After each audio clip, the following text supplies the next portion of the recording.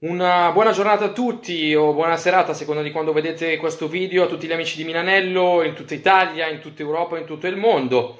Eh, iscrivetevi al canale se non l'avete ancora fatto. Oggi parliamo di calciomercato. Ho sintetizzato nella grafica che avete visto all'inizio, che vi riproporrò magari anche alla fine, un possibile 11 di Ragnick per la prossima stagione. Partiamo dal presupposto che per quanto ci riguarda sarà proprio Ragnick.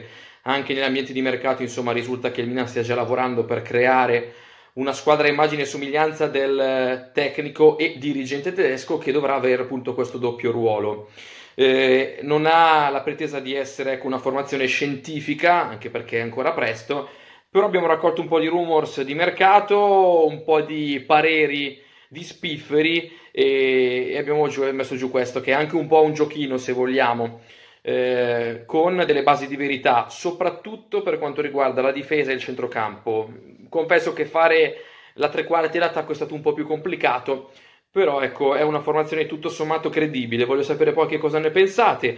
Ve la riassumo, in porta non Donnarumma, perché secondo me sarà ceduto per eh, non perderlo a zero tra un anno e perché non gli si pro- potrà proporre un rinnovo con l'aumento. In porta Meret. Eh, diciamo che una parte dei soldi che arrivano da Donnarumma vanno investiti per il cartellino di Meret, ma si risparmierebbe molto di ingaggio con Donnarumma che prende molto molto molto di più rispetto a Meret. Quindi Meret in porta, però ci sono anche altre opzioni.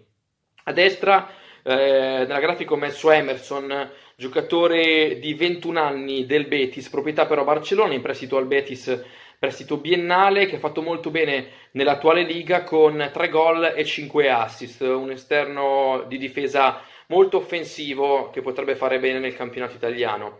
Eh, al centro con Romagnoli ci potrebbe essere Saima Khan, giocatore, difensore centrale dello Strasburgo, 19 anni, che sta facendo molto bene in Ligan con 19, 19 presenze fino a questo momento. Eh, se ne parla davvero un gran bene. A sinistra confermato Teo Hernandez, anche se il Milan, sapete, sta cercando altri profili.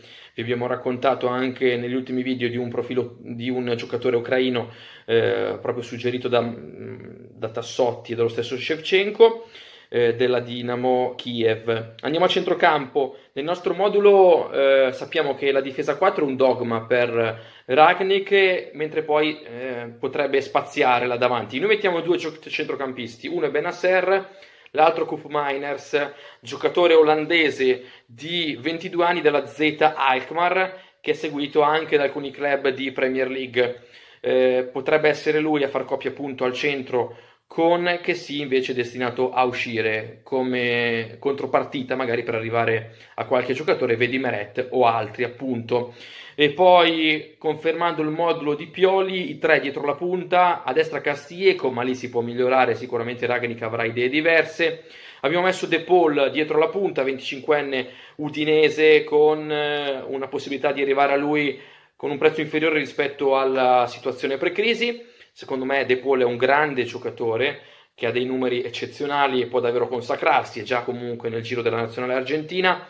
A sinistra invece eh, Rebic, e là davanti come punto di riferimento Jovic, in attesa di capire che cosa succederà su Ibra. Jovic è un giocatore che piace, piaceva già a gennaio, quest'estate il Real potrebbe farlo partire magari con la formula del prestito, con diritto di riscatto, in modo di pagarlo poi un po' meno rispetto al prezzo con cui verrebbe via, tra virgolette, quest'estate. Ricordiamo che il Real un anno fa l'ha pagato 60 milioni di euro.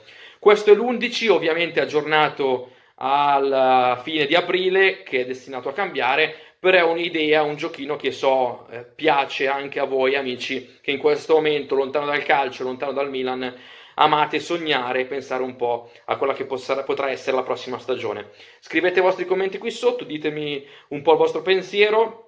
Là davanti sono giocatori comunque che possono far partire il pressing offensivo tanto caro a Ragnik. A me piace molto questa formazione, eh, diciamo che abbiamo messo Khan in difesa, ma mh, mm, potrebbe arrivare un profilo un po' più esperto o comunque essere confermato eh, Chiaer. Per il resto comunque le linee guida sono queste di una squadra molto molto giovane con ingaggi bassi da valorizzare per poi insomma far crescere il livello collettivo della squadra e magari rivenderli anche un domani. Questa è la situazione. Grazie ancora, iscrivetevi al canale, aspetto i vostri contributi. Ciao!